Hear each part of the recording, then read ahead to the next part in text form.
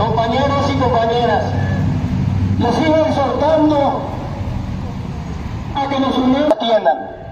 que nos entiendan que nosotros como seres humanos necesitamos atención médica. Si atendemos a nuestros niños y vamos con una salud aceptable, trabajaremos contentos y felices con nuestros niños